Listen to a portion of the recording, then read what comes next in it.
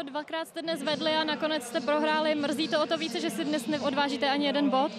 Tak samozřejmě to mrzí, pokud děláte v Plzni dvě branky, tak by to minimálně, minimálně na bod mělo stačit. Bohužel prohráli jsme, domácí měli dvě krásné střely, které prakticky ne, až si nešli chytat, takže z tohohle pohledu asi o tu branku byli lepší.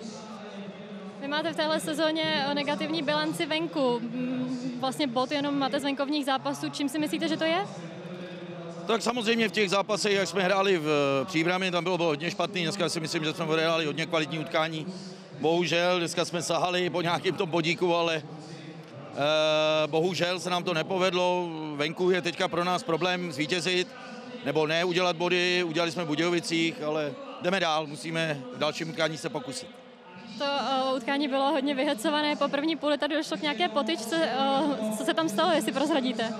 Tak já myslím, že je to zbytečný, k fotbalu patří emoce, nebylo tam nic, co by se, co by se mělo, mělo řešit, takže z tohohle pohledu proběhlo to normálně tak, jak to je. Vy máte v týmu novou posilu Kaspera Hemelajnena, tak uh, dnes byl jenom na tribuně. Uh, z jakého to důvodu je to, že ještě není fyzicky připravená? Jak to vidíte do budoucna s ním? Tak není ještě stoprocentně připravený, měl určitý tréninkový manko, počkáme si, teďka máme týden znovu, aby jsme se na to připravili, uvidíme, jak to bude potom. Mm, zatím s náma trénuje, má ty tréninkové dávky trošku větší než ostatní. Uvidíme, jak to bude vypadat.